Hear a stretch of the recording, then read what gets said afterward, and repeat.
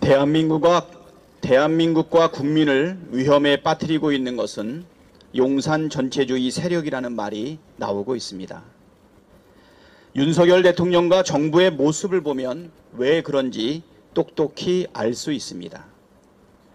맹목적 친일 행보도 모자라 우리 헌법 전문에 수록된 대한민국 임시정부의 법통을 지우기 위해 독립운동가들의 흉상 철거를 자행하며 나라를 일제 강점기 시절로 되돌려놓고 있습니다. 국민의 생명과 안전은 위협받고 있습니다. 후쿠시마 핵 오염수 해양 투기를 묵인하고 12구 이태원 참사부터 오송 참사까지 우리 국민의 희생에는 단 한 명도 책임지지 않고 수수방관하고 있습니다. 민주주의도 끊임없이 위협하고 있습니다.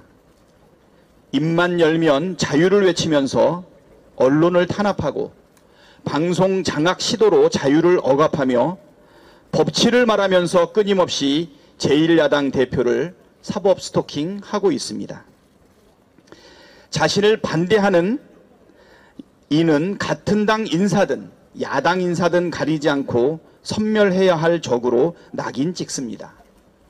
심지어 자신을 비판하는 국민에게 반국가 세력이라는 붉은 딱지를 붙이고는 맞서 싸우겠다고 선전포고를 합니다. 주변에는 간신과 아침, 아첨꾼밖에 보이질 않습니다. 윤석열 대통령을 일컬어 언제나 빛나는 태양, 구국의 지도자라고 칭송하며 우리 모두가 윤석열이라고 외칩니다. 민생과 경기, 경제는 대위기인데 제대로 된 해법은커녕 청개구리 정책만 내놓습니다. 재벌 대기업 초부자는 세금 깎아주고 서민에게 돌아갈 예산과 미래 먹거리를 대비할 예산은 뭉텅뭉텅 삭감합니다. 정말 참담합니다. 분명하게 말씀드립니다. 대한민국과, 대한민국과 국민을 위험에 빠뜨리는 것은 공산 전체주의 세력이 아니라 역사를 지우고 자유를 억압하고 민주주의를 파탄내는 세력입니다.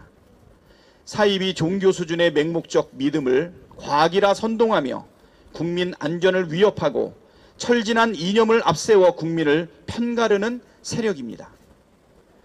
대통령은 독단과 독선, 아집에서 깨어나야 합니다. 대한민국은 왕이 지배하는 봉공국가가 아니라 민주공화국입니다.